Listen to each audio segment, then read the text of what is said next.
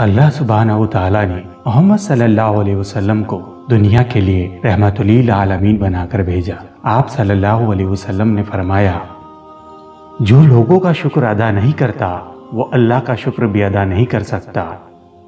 आइए, इस बारह रबी अव्वल, यानी योम रहमत के दिन, मखलूक खुदा में से किसी न किसी के साथ रहमत का सलूक ज़रूर करेंगे।